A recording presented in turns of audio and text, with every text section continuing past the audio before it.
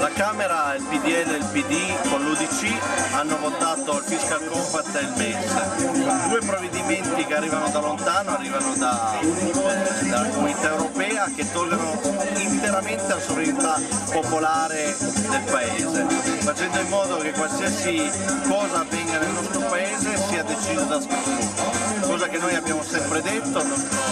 il nostro Presidente federale Umberto Bossi aveva detto vent'anni fa che bastava che Strasburgo, Bruxelles facesse un fax e il Paese Italia obbedisse. Oggi oramai questo è oramai legge, col Fiscal Compact del MES la sovranità popolare è azzerata. Ci aspettiamo ancora ulteriormente che tolgano le elezioni politiche, le elezioni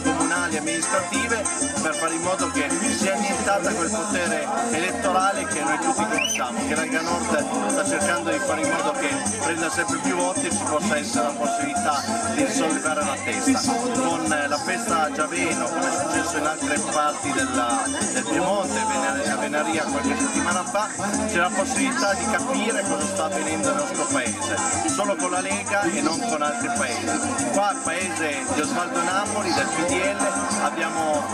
ancora ribadito il concetto che siamo contro questo governo di tecnocrati burocrati mediocri, mediocri perché in tutte le situazioni che sono creati nel loro curriculum vitae, questi tecnocrati, abbiamo visto che non hanno ottenuto niente, da partire dal Presidente Monti fino al